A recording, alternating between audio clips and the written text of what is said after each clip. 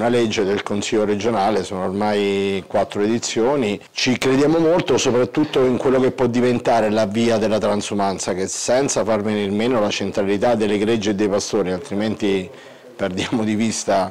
il motivo per cui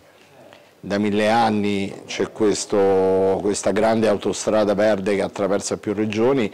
eh, però può diventare anche un grande attrattore per un turismo eh, lento e sostenibile e creare tante eh, azioni di recupero dei nostri centri minori interni che noi animeremo con 27 e più iniziative di ogni livello, da quelle culturali, teatrali, musicali, esperienziali e museali e riteniamo che questo sia un dato molto qualificante per la Regione Abruzzo.